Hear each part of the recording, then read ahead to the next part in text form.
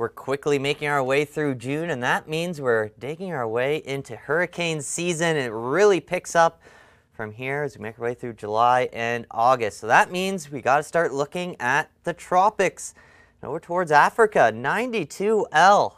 Looks like it's going to become our first named hurricane of the season. That cone of red that's what we're going to be looking for to track over the next five days towards the Greater Antilles.